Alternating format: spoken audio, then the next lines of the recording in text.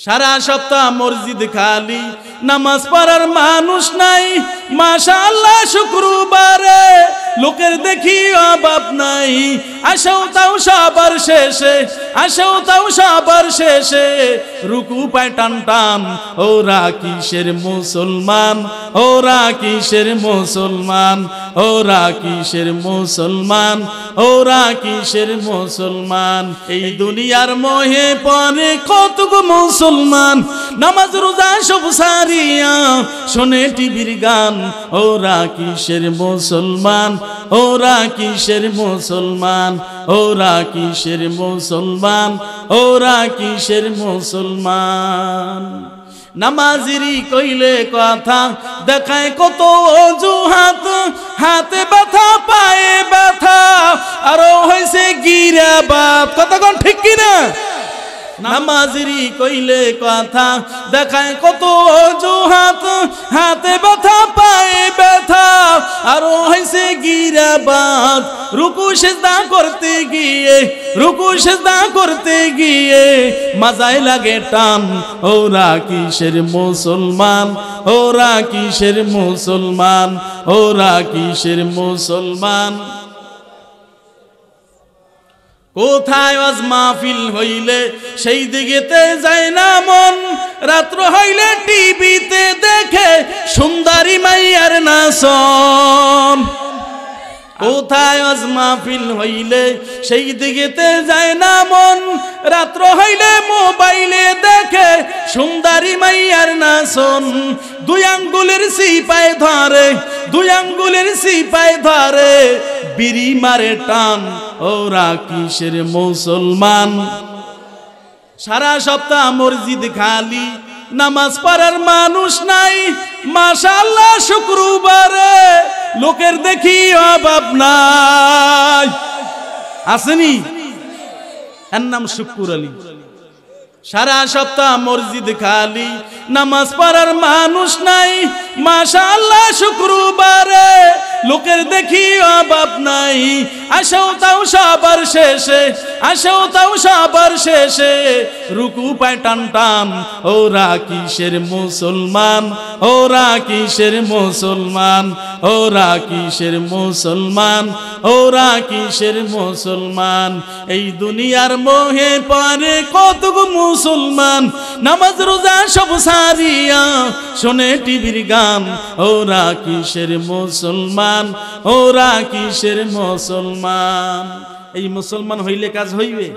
মাকুন সস্তি নামাজে পাঞ্জ গানা, ফাওয়াইলুল লিল মুসাল্লিন আল্লাযিনা মুমিনারা ইনামাজিন দাদ দাম ইস্তাইনু আয়াতে কুরআ বাখা আয়াতে কদ আপলাহারায়াদ কুন গাও মে কুন্দর মানিয়াজ দিল সাদিকুন, ও আল্লাহর বান্দা নবীর উম্মাত ও যুবক ভাই, ও বৃদ্ধ বাবাজি, ও পর্দার অন্তরালের মা, ও মাগু মা। ও পর্দার অন্তরালের মা, আপনাদের এলাকায় বয়াঞ্চলের মা, মাইকের আওয়াজ কানে যায় রে মা, মাইকের আওয়াজ যে পর্যন্ত যাইতেছে। ও পর্দার অন্তরালের মা, আপনাদের হাতে পায়ে ধরিয়া বলি রে মা, মাইকের আওয়াজের দিকে কান্দুখানা ঝুঁকায় দাও। অল্প সময় নামাজের মুসাল্লায় বসিয়া যাও। আমার আল্লাহ যদি কবুল করে, মুহূর্তের মধ্যে গুমরাহির মালাটা খুলিয়া দিয়া আমার আল্লাহ হেদায়তের মালা গলায় পরায় দিতে পারে কি পারে না? কে পারে কে? আরও জোরে কে? अल्लाह अल्लाह का मुबारक नाम है अल्लाह अल्लाह, आशिकू का काम है। अल्लाह अल्लाह, तू मेरा माशूक है। अल्लाह अल्लाह, तू मेरा महबूद है। या इलाही, मुझसे मुझको दूर कर, ताकि देखो मुझमें तुझको एक न নজর কার নামের মধ্যে মজা? আর হজরে গন কার নামের মধ্যে মজা? ও যুবক আল্লাহর গুলাম বন্ডের দলকায় নামাজ লাগে না, রোজা লাগে না। অথচ আল্লাহর নবী জানায় দেয় সই হাদিসের বর্ণনা নবী জানায় দেয় নবী আলিহি ওয়াসাল্লাম আউয়ালু মা ইউহাসাবু বিহিল আবদ ইয়াউমাল কিয়ামাতিস সালাহ নবী জানায় দেয়, কিয়ামতের মুসিবতের দিন সর্বপ্রথম নামাজের হিসাব হইবে, কির হিসাব? জোরে কান। আর জোরে কির হিসাব? ও নবীর উম্মতের দল, ভিন্ন হাদিসে নবী আমার জানা দেয়, আমার বানানো কোনো কবিতা না, নবীজির স্পষ্ট হাদিস থেকে বলতেছি। নবী জানা দেয়, মান হাফাজ আলা সালাহ, আকরামাহুল্লাহু বিখামসি কিসাল ইয়ারফাউ আনহু দিকাল মাউতি ওয়া আযাবাল কবর, ওয়া ইউতিহিল্লাহু বিয়ামিনিহি, ওয়া ইয়ামুরু আলা সিরাতিকাল বার, ওয়া ইউদখিলুহুল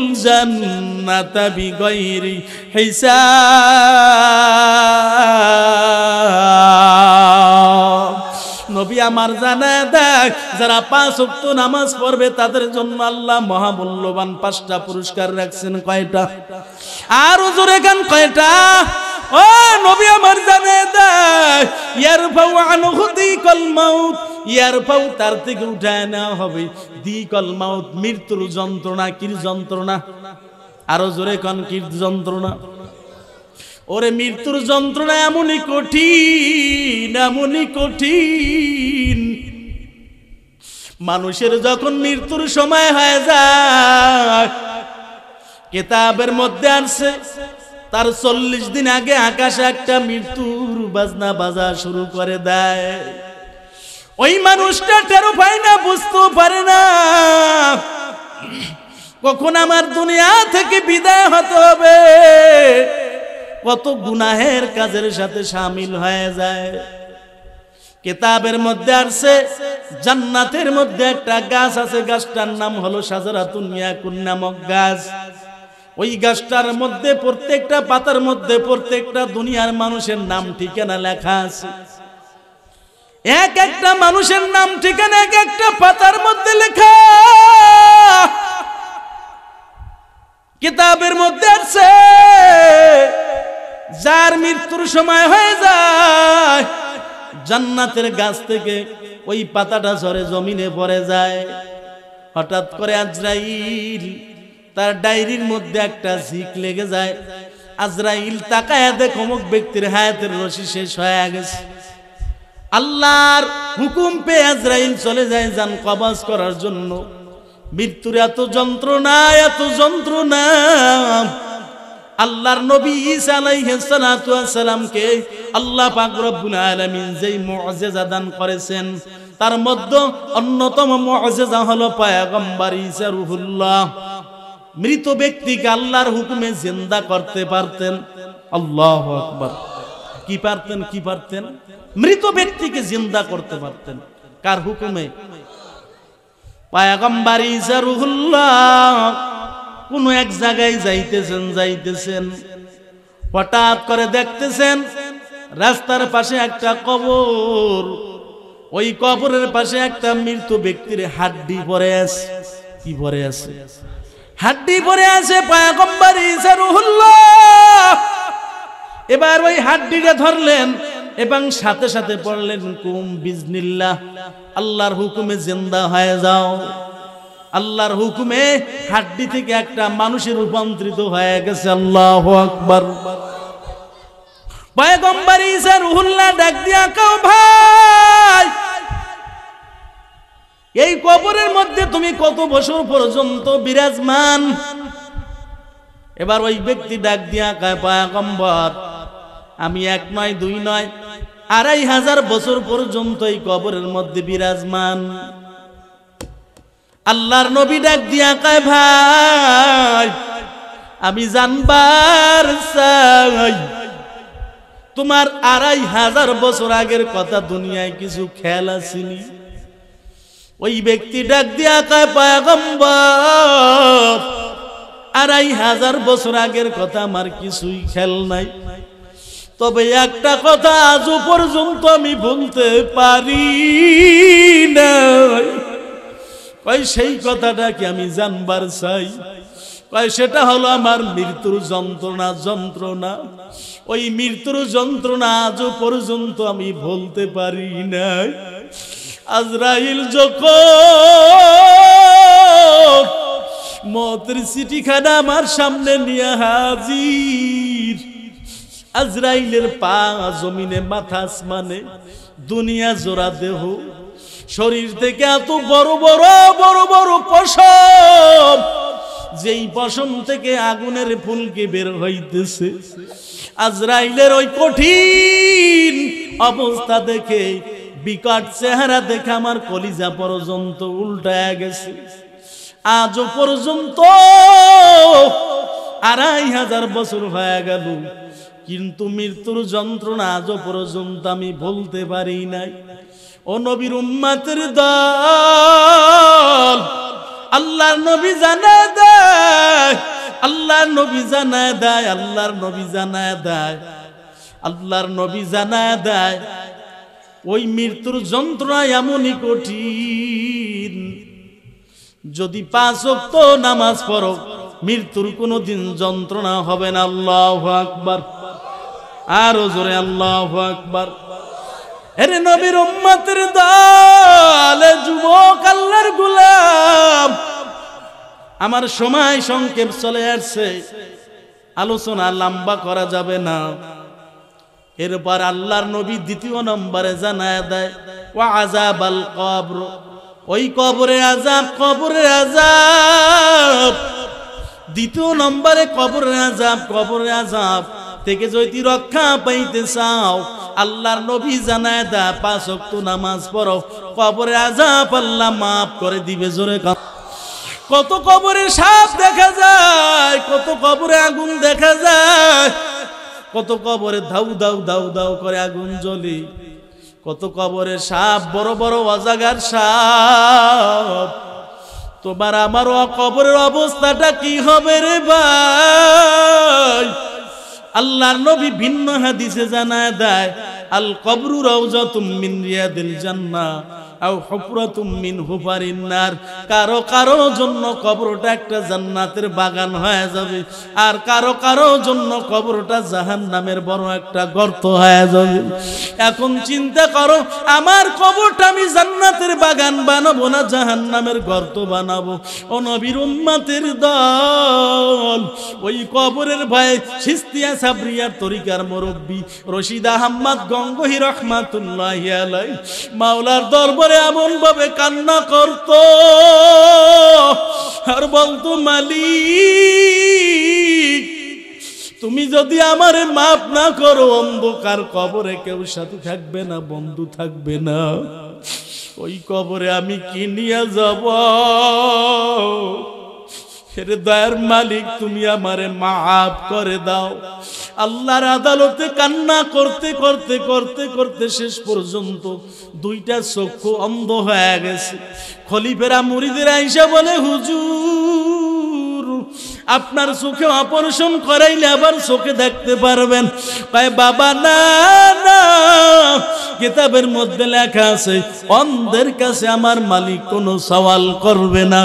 আমি রশিদ আহম্মদ, যখন মাওলার দরবারে দাঁড়াবো, যখন আমার মাওলা জিজ্ঞাসা করবে, আব্দুর রশিদ তুমি আমার দরবারে কি নিয়ে আসছো তখন আমার মালিকের দরবারে বলব, মালিক, তোমার দরবারে আমি কিছু নিয়ে আসতে পারি নাই। তোমার ভয়েতে কান্না করতে করতে দুটা চক্ষ অন্ধ বানায় দিছি। এই খাতিলে তুমি আমার মাফ করে দাও। ও নবীর উম্মাতের দল, আল্লাহর হাবিব জানায় দেয় ও আজাব আল কবর ওই কবরে আজাব থেকে যদি মাপ পাইতে চাও, পাঁচ ওয়াক্ত নামাজ পড় আল্লাহ কবরে আজাব মাফ করে দিবি জোরে কান সুবহানাল্লাহ। এরপরে নবী আমার জানায় দেয়, তিন নম্বরে নবী জানায় দেয় ওই তুহিল্লাহু বিয়ামিনিহি ডান হাতে আমল নামা ডান হাতে আমল নামা সবাই পাবে না। বেনমাজি সুৎকর ঘুষকর না পারমান বাম হাতে আমল নামা পাইবে তাও সোজা বিলে পাইবে না। বুক থেকে পিঠ বরাবর ছিদ্র বানায়া, হাতটারে বুক বরাবর ঢুকায়া বেনমাজি না ফারমানকে যখন বাম হাতে আমল নামাটা দেওয়া হবে, আর বলবে, না ফারমান, তুই তোর আমল নামার দিকে তাকা কোন জায়গায় কোন গুণা করছ? না ফারমান আমল নামার দিকে তাকাইয়ে দেখতে পারবে আ কোন জায়গায় কোন গুণা করছে? এর নবীর উম্মাতের দল।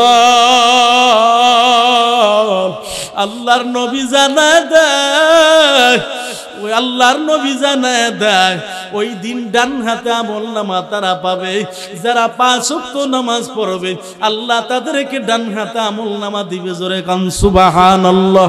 এরপর নবী আমার জানায় দেয়, চার নম্বরে জানায় দেয় ওয়াইয়ামুর আলা সিরাতিকাল বার আর ওয়াইয়ামুর আলা সিরাতিকাল বার ওই যে কঠিন পুলসিরা তিরিশ হাজার বছরের রাস্তা, চুলের চেয়েও চিকন হীরার চেয়েও ধার। কঠিন পুলসিরাত তার নাম। ওই কঠিন পুলসিরাত আল্লাহ বিজদির আকারে পার করে নিবে জোরে কান সুবাহান এরপরে নবী আমার পাঁচ নম্বরে জানায় দেয় ওই উদখিলুহুল জান্নাতা বিগৈরি হিসাব।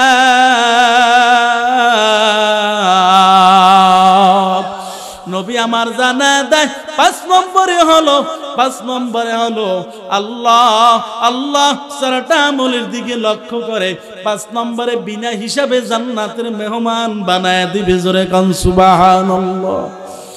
আমল সে বন্তি হি জান্নাত বি জাহান্নাম। এ খাকে ফিতরত মে না নারী হয় না নূরি या खाके फितरत में न नारी है न नूरी इखलास किया मानिए जन नाती की हावरा परहज की मका से देह जु तक से हसिल माद अल्लाह अकबर ও নবীর উম্মাতের দল ও যুবক কয়দিন দুনিয়াতে বাঁচবা, কয়দিন দুনিয়াতে থাকবা? দুনিয়ার জিন্দিগি দেখতে না দেখতে শেষ হয়ে যাবে। আখেরাতের জিন্দিগি শুরু হবে আর কখনো শেষ হবে না। আমি আপনাদের সামনে নবীর একটা হাদিস বলছি। নবীজি জানায় দেয় তিরমিজি শরীফের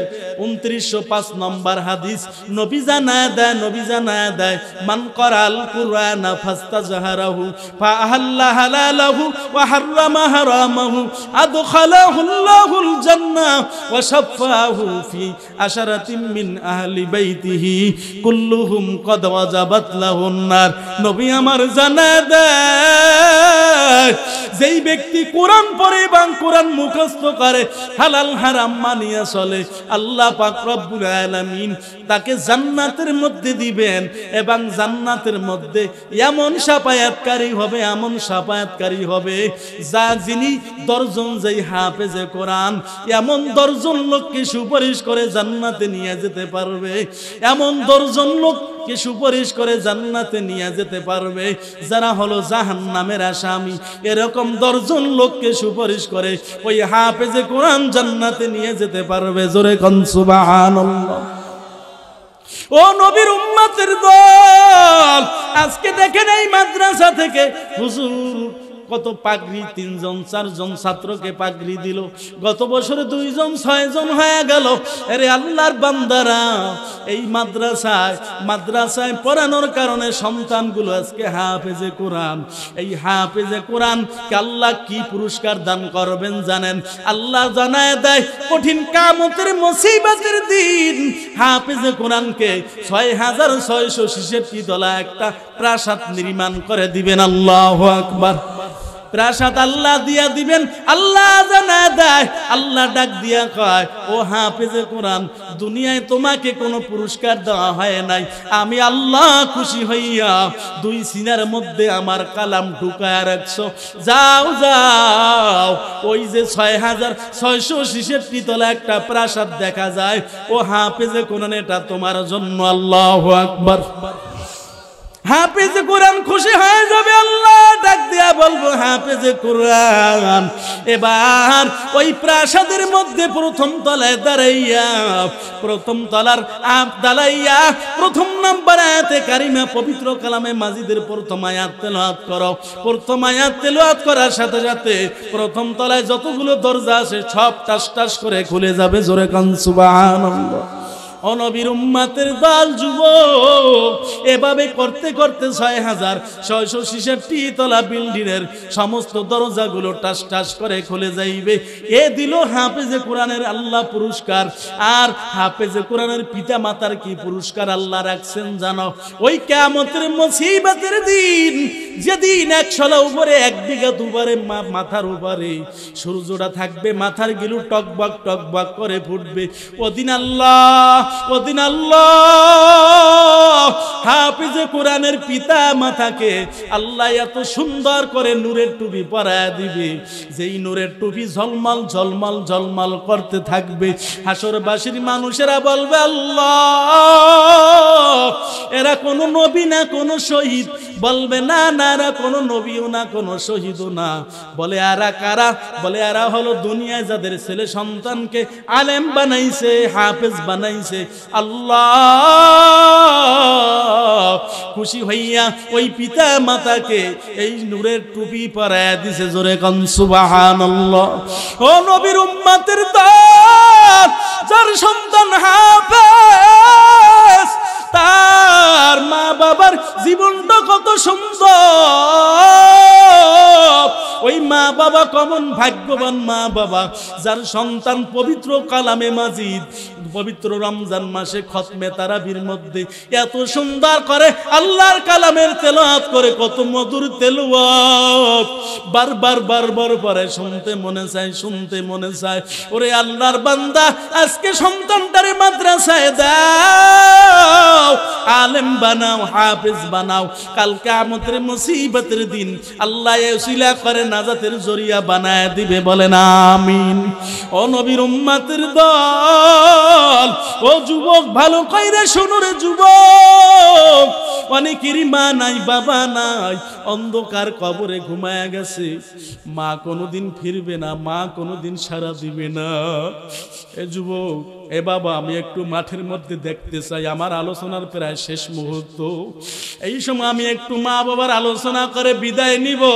ও বাজার আল্লাহর নবী জানায় দেয়, কলা রিদার রব্বি ফি রিদাল ওয়ালিদাইন ওয়া সাকাতুর রব্বি ফি সাকাতিল ওয়ালিদাইন। নবী আমার জানায় দেয় যে সন্তানের উপর পিতামাতা খুশি, ওই সন্তানের উপর আমার আল্লাহ খুশি। জোরে কান, সুবহানাল্লাহ। এরপর নবী আমার জানায় দেয় যেই যেই সন্তানের উপর পিতামাতা বেজার, ওই সন্তানের উপর আমার আল্লাহ বেজার। এ যুবক খবরদার, মায়ের কাঁদাবা না মায়ের কষ্ট দিবা না। আমি একটু মাঠের মধ্যে দেখতে চাই, কার মা নাই, কার বাবা নাই, হাত জাগাও, কার মা নাই, কার বাবা নাই। হাত নামান অনেকেরই মা নাই, অনেকেরই বাবা নাই। আমারও মা নাই এক বছরও হয় নাই, মা দুনিয়া থেকে বিদায় হয়েছে গত সাবান মাসে।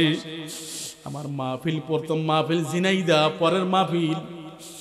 প্রথম মাহফিল সাতক্ষীরা, পরের মাহফিল জিনাইদা সাতক্ষীরা মাহফিল করে আমি জিনাইদার উদ্দেশ্যে রওনা করছি। তার আগে বাড়ি থেকে যখন আসছি, মার কাছে দোয়া নিয়ে আসছি, মা মাথায় হাত দিয়া দোয়া করে দিছে। যখন বয়ানে গেলাম বয়ান করে যখন জিনাইদের উদ্দেশ্যে রওনা করছি, রাত সাড়ে তিনটা বাজে বাড়ি থেকে ফোন দিছে, মার দুনিয়ায় নাই। কলিজাটা মনে হয় ছিঁড়ে গেছে, আর সহ্য করে থাকতে পারি না। কি হইল? মাকে তো পুরো সুস্থ দেখে আসলাম, মা ভালো মানুষ। যখন বাড়ি গেলাম, আব্বাকে জিজ্ঞাসা করলাম, কি হয়েছে আব্বা ডাক দিয়ে আকাশ সন্তান, তোমার মার কিছুই হয় নাই। তোমার মা তো প্রতিদিন তাহাজুদের নামাজ পড়তো। রাত্রবেলায় যখন তাহাজুদের নামাজ পড়তে উঠছে যখন নামাজের মুসাল্লায় দাঁড়াইছে, আমাকে ডাক দিয়ে আকাশ আমি আমাকে এক গ্লাস পানি দেন। আমি যখন পানি দিতে গেছি, যখন পানি মুখের মধ্যে দিছে, আর ডাক দিয়ে আকাশ আমি আমি আর বাঁচবো না। আল্লাহর বান্দিয়ার দুনিয়াতে নাই যুবক। কত জায়গায় মাহফিল করতে যায় কত সন্তান মায়েরে মা কইয়া ডাক দেয়। জীবনে আমি আব্দুল মালেক আনোয়ারি আর মায়েরে মা কইয়া ডাক দিতে পারব না। এ যুবক, এই মায়ের মায়েরে কাঁদাবো না বাবারে কাঁদাবো না মায়েরে বাবারে কষ্ট দিবা না রে যুবক। আমি প্রায় সময় বলি। এ যুবক, পদ্মা নদীর মধ্যে একটা লঞ্চ ডুবছে কয়েক বছর আগে। ওই লঞ্চটার নাম হলো পিনাপ ছয়। ওই পিনাপ ছয় যখন ডুবছে, আমাদের দক্ষিণ অঞ্চলের একটা সন্তান ঢাকা গার্মেন্টসে চাকরি করত। ঢাকা গার্মেন্টসে চাকরি করে যখন বাড়ি গেছে যায় বলে, মা, আমি সাত দিন ছুটি পাইছি সাত দিন পর আমার ঢাকা রওনা করতে হবে।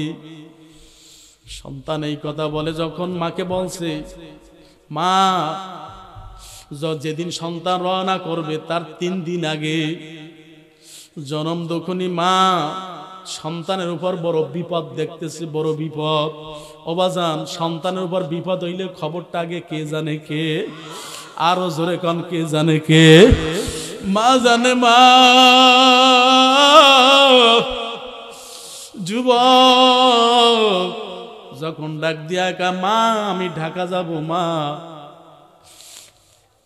সন্তানের মা ডাক দিয়া কায় মা, বাবা, তোর ঢাকা যাওয়া লাগবে না। তোর উপর আমি তিন দিন পর্যন্ত বড় বিপদ দেখতেছি। সন্তান ডাক দিয়া কায় মা গো আমার বাবা মানুষের বাড়ি কাজকর্ম করে, কত কষ্ট করে বদলা দেয়, দিন মজুরি বদলা দেয়। মা, আমার বাবার আর আমি কষ্ট দিব না। আমি ঢাকা যাব রে মা। আগামী মাসে আমার প্রমোশন বাড়িয়া যাইবে, আমি অনেক টাকা পাবো মা। বাবার দ্বারা কোনো কাজকর্ম করাবো না। আমার ঢাকা যাইতে দাও। মা যখন রওনা করায় দিছে, কিন্তু জনম দুখনির মা কলিজার মধ্যে বারবার বারবার ধাক্কা দেয়। কিন্তু সন্তান রওনা হয়ে গেছে। যখন পদ্মা নদীর কিনারায় চলে গেছে, যাওয়ার পর হঠাৎ করে একটা লং ছেড়ে দিল, যুবকটা লঞ্চে উঠছে। লং যখন চালানো শুরু করছে কিছু দূর যাওয়ার পর দেখতেছেন ঝড়, বৃষ্টি, তুফান তুমুল ব্যাগে শুরু হয়ে গেছে। ঝড় চলতেছে, তুফান চলতেছে, বাতাস বইতেছে। লং যাইতে যাইতে যাইতে যাইতে যখন পদ্মা নদীর মাছ বরাবর চলে গেল। চলে যাওয়ার পর লঞ্চ আর টেকবে না লঞ্চ ডুবিয়া যাইবে। এইবার সন্তান মার কথা স্মরণ আইছে, মার কথা মনে আইছে। যে লঞ্চ তো ডুবিয়া যাইবে, আমি তো সাঁতারও জানি না। কত মানুষ সাঁতার জানে, সাঁতার দিয়ে উঠতে পারবে, আমি তো সাঁতারও জানি না। তাহলে আমি তো আর বাঁচবো না। মার কাছে দোয়া চাই, শেষবারের জন্য মার কাছে কথা বলি, বাবার কাছে কথা বলি। সন্তানটা পকেট থেকে মোবাইল উঠাইছে, মোবাইল উঠাইয়া মা বাবার নাম্বারে ফোন করছে। ফোনটা বাবা ধরছে। বাবা ধরার পর বাবা ডাক দিয়া সন্তান এদিকে তো ঝড় বৃষ্টি চলতেছে। বাবা, তুই কোন পর্যন্ত গেছ? এখন কোথায় আছো রে বাবা? সন্তান ডাক দিয়া কয়, বাবা,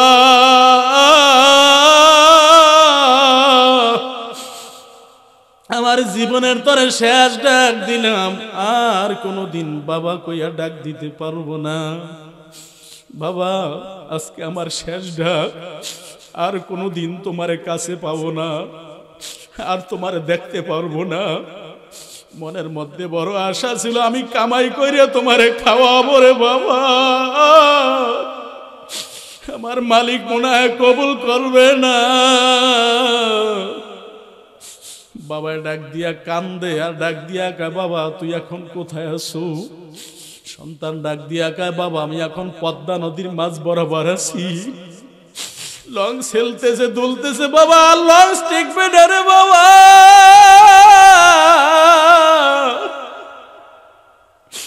আমার মা কই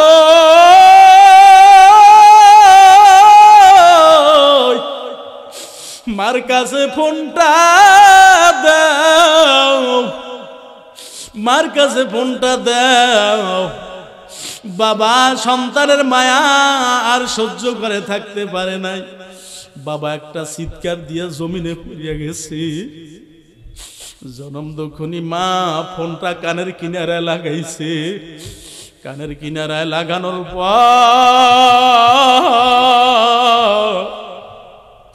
মা যখন কানের কিনারায় ফোন লাগাইছে, মা ডাক দিয়া কয়, সন্তান, তুই এখন কোথায় আছো রে বাবা? তোর জন্য তো আমি বড় পাগল।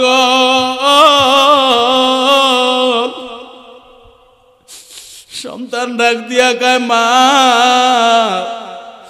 আমার জীবনের তরে শেষ ডাক দিলে আমার কোনোদিন মা কইয়া ডাক দিতে পারব না। ও মা, তুমি যে আমার উপর স্বপ্ন দেখছ, ওই স্বপ্নের বাস্তব শুরু হয়ে গেছে রে মা। আমি আর বাঁচবো না, মা লঞ্চ ডুবিয়া যাইবে রে মা। তবে আমার লাশটা যদি তালাশ করিয়া পাও, দাদুর কবরের সামনে মসজিদের ডান পাশে আমার দাপন দিও রে মা। এই কথা বইলে সন্তান আর কিছুই বলতে পারে লঞ্চটা হঠাৎ করিয়া ডুবিয়া গেল। মা, জনম দুখুনি মা। একটা চিৎকার দিয়া মাও জমিনে বেহুশ হয়ে পড়িয়া গেছে। কিছুক্ষণ পর যখন হুশে ফেরছে, হুশে ফেরার পর জনম দক্ষিণী মা ওই সন্তানের কাছে ফোন করে ফোন করে দেখে নাম্বারটা বন্ধ। মার মনে বসতে আর বাকি নাই মা। সন্তানের বাবারে ডাক দিয়া গাও সন্তানের বাবা। তাড়াতাড়ি যাও, সামনের পারে যাই শুনে আসো। লঞ্চ কি পদ্মা নদীর মধ্যে ডুবছে কি ডুবে নাই? বাবা সামনে গেছে যায় মানুষের কাছে শোনে, মানুষে বলা বলি করে, পদ্মা নদীর মাধ্যমে এই মাত্র লঞ্চ ডুবিয়ে গেছে। বাবা দেরি করে নাই, একটা দৌড় দিয়া ঘরে আসছে। ডাক দিয়া কায়, বিবি, কপালটা বুঝি পুড়িয়ে গেছে। এই মাত্র নাকি পদ্মা নদীর মধ্যে লং ডুবিয়ে গেছে। ও তাড়াতাড়ি চলু।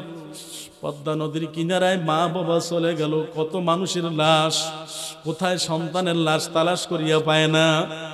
আ, মা বাবার খাওয়া নাই ল নাই, ঘুম নাই, নিদ্রা নাই। সন্তানের জন্য পাগল নদীর কিনারায় কিনারায় ঘোরে। আর সন্তান সন্তান বলে কান্দে। ওই দিকে ছয় দিনের সময় আমাদের রাজাপুর থানায় গাবখানা একটা ব্রিজ আছে। ওই ব্রিজের নিচে ছয় দিনের সময় একটা ছেলে মাছ ধরতে নামছে। তাকায় দেখে দূর থেকে একটা লাশ দেখা যায়, কাছে গেছে যায় দেখে এলাকার কোনো লাশ না। দারোগার নাম্বার ছিল, ফোন দিছে। দারোগা সাহেব পুলিশদেরকে নিয়ে লাশ উদ্ধার করছে। এখন পুলিশেরা কোনো সন্ধান পায় না কোথাকার লাশ। শেষ পর্যন্ত প্যান্টের পকেটে একটা মোবাইল পাইছে। ওই মোবাইলটা খুলছে, খোলার পর দারোগা সাহেব মোবাইলটা, ওই সিমটা দারোগা সাহেবের মোবাইলের মধ্যে নিয়ে লাগাইছে।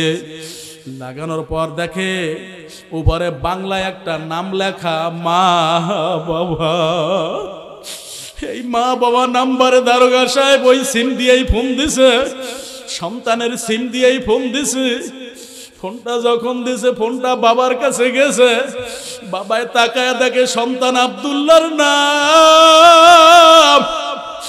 বাবা এত খুশিতে বাক বাক হয়ে গেছে। বাবায় ডাক দিয়া কাও বিবি, তাড়াতাড়ি ওঠো।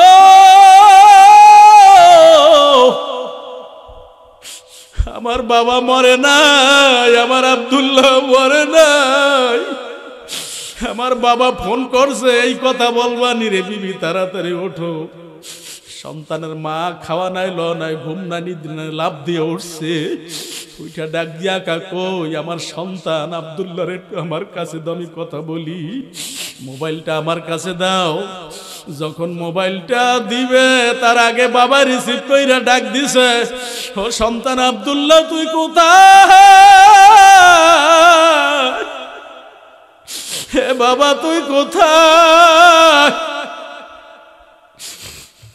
এবার রাজাপুর থানার দারোগা ডাক দিয়া কায় অবুর আমি তোমার সন্তান আবদুল্লা না। কয়, তুমি কে? কয়, আমি রাজাপুর থানার দারোগা। কয়, দারোগা আমার সন্তান আবদুল্লাহরে নিয়ে তুমি জেলের মধ্যে ঢুকাইছো। কয়, না, আমি ঢুকাইনি, আমার কোনো পুলিশ বাহিনীও ধরে নাই। তোমার সন্তানের ধরছে আমার মাওলার পুলিশ আজরাইল। তাড়াতাড়ি আসো! রাজাপুর থানায় আসো, সন্তান প্রায় পচিয়া গেছে। মা বাবা যায় যখন হাজির হইছে, হাজির হওয়ার পর দেখে লাশ থেকে দুর্গন্ধ আসতেছে। মানুষ দূরে দূরে দাঁড়ায় রইছে, নাকে মুখে রুমাল দিয়ে দাঁড়ায় আছে, কেউ কাছে যায় না। মা কোনো দুর্গন্ধ পায় না। গাড়ি থেকে নাইমা মনে একটা দৌড় দিছে, দৌড় দিয়া মরা সন্তানটারে বুকের মধ্যে এ গালে সুমুদায়, ও গালে সুমুদায় সন্তানের যখন সুমুদায় সন্তানের গালের গোস্ত পচি আলগা হয়ে গেছে। ওই পচা গালের গোস্তগুলো মা ঠোঁটে আসিয়া লাগিয়া যায়। এখন মানুষের দেখায়, দেখ, কারে কয় মা, কারে কয় সন্তান। এ যুবক যার মা নাই, বাবা নাই। বাড়ি যাইয়া মায়েরে পাবা না, মা বাগানে, পুকুর বানে, কলা বাগানে নিচে ঘুমায়া গেছে। ওই মার জন্য দোয়া করবা, বাবার জন্য দোয়া করবা। এ যুবক আল্লাহর গোলাম, ওই মার খেদমত করবা, কারা কারা পারবা একটু হাতটা জাগায় দাও, আল্লাহ আকবার। আল্লাহ কবুল করুক, বলেন আমিন, আর জোরে কানা আমিন। আল্লাহ আমাদের সকলকে কবুল করুক। যে আলোচনা করলাম, আমি সহ আপনাদের সকলকে আমল করার তৌফিক দান করুক, বলেন আমিন।